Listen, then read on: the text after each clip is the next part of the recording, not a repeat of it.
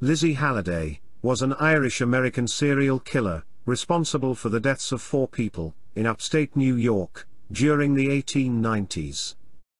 In 1894, she became the first woman to be sentenced to death by the electric chair. Halliday's sentence was commuted, and she spent the rest of her life in a mental institution. She killed a nurse while institutionalized, and is speculated to have killed at least two more people, her husbands from previous marriages. This is the shocking story of one of the most dangerous and insane woman ever lived, Lizzie Halliday.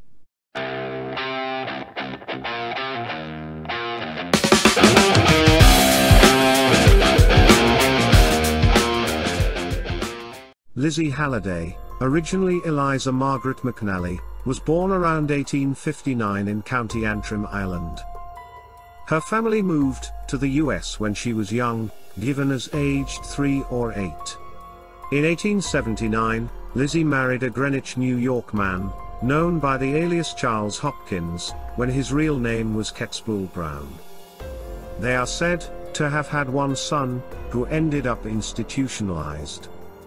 In 1881, after Hopkins' death, she married a pensioner named Artemus Brewer, but he also died less than a year later. Her third husband, Hiram Parkinson, left her within their first year of marriage. Lizzie went on to marry George Smith, a war veteran who had served with Brewer. After a reported failed attempt to kill Smith, by putting arsenic in his tea, Lizzie fled to Bellows Falls, Vermont. She married Vermont resident, Charles Plaistel, but she vanished two weeks later. In the winter of 1888, Lizzie resurfaced in Philadelphia, when she turned up at a saloon on 1218 North Front Street, that was run by the McQuillans. Friends she knew from Ireland. Going by the name Maggie Hopkins, Lizzie set up a shop, but was later convicted of burning it down for the insurance money. She was sentenced to two years at Philadelphia's Eastern State Penitentiary.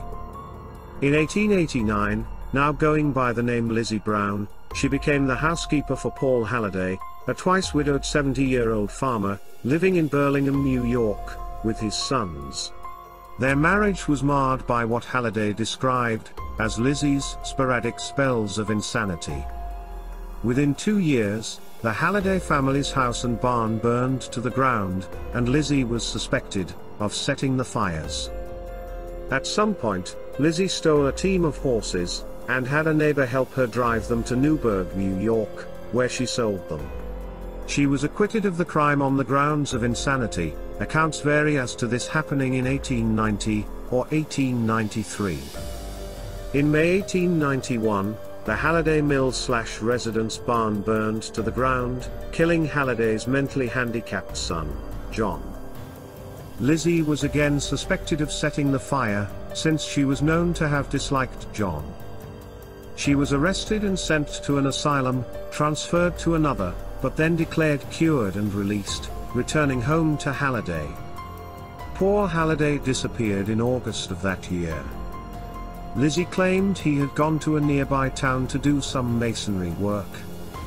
Following the neighbors' suspicions that something was not right about Lizzie's story, a search warrant was obtained, and on September 4 the bodies of two women were found buried in hay.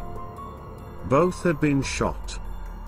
The women were later identified as Margaret and Sarah McQuillan, New York residents, who were part of the family Lizzie had stayed with, in Philadelphia. Little could be ascertained from Lizzie as, when questioned, she behaved in an erratic manner, tearing at her clothes, and talking incoherently. She was kept in custody, and some thought she was merely faking insanity. A few days after the McQuillans were found, Paul Halliday's mutilated body was discovered under the floorboards of his house. He had also been shot. Lizzie was charged with the murders and held for trial at the Sullivan County Jail, in Monticello, New York. During her first few months, there she refused to eat, attacked the sheriff's wife, set fire to her own bed, tried to hang herself, and cut her own throat with broken glass, about which she said, I thought I would cut myself, to see if I would bleed. Her jailers were forced to chain her to the floor during her remaining months there. While she was in jail, Lizzie received national attention, with one sensational story after another, appearing across the country in tabloid newspapers. The New York World portrayed Lizzie's case as unprecedented and almost without parallel in the annals of crime. She was also covered by the world's Nellie Bly, who eventually managed to get an interview with Lizzie, in which she revealed her previous marriages, facts Bly was able to confirm. Another useful source for reporters was Robert Halliday, Paul Halliday's son. The Sullivan County Sheriff started a new round of speculation when he told the press that Lizzie was probably connected to the Jack the Ripper murders, although no connection was ever made. The revelation that she had been married five times before she wed Paul Halliday, that two of her husbands died less than a year after their weddings, and that Lizzie had tried to poison a third, led the press to speculate that she was responsible for at least six deaths. Whether these men died natural causes, or were murdered, is not known, the New York Times noted in June 1894. Lizzie also made a claim, confided to Robert Halliday, that she had killed her husband in Belfast but had managed to conceal the crime. On June 21, 1894, Halliday was convicted at the Sullivan County Oyer and Terminer Court for the murder of Margaret McQuillan and Sarah Jane McQuillan. She became the first woman ever to be sentenced to death by electrocution, via New York State's electric chair. Governor Roswell P. Flower commuted her sentence, to life in a mental institution, after a medical commission declared her insane. Halliday was sent to the Matteawan State Hospital, for the criminally insane. Where she spent the remainder of her life. In 1906, she killed a nurse, Nellie Wickes, by stabbing her, 200 times, with a pair of scissors. Halliday died on June 28, 1918, at the age of 59. And this was the horrific story of Lizzie Halliday, the first woman ever to be sentenced to death by electrocution. Thank you for watching.